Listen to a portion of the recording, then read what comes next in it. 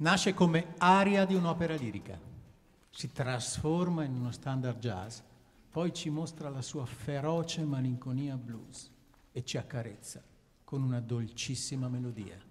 Summertime.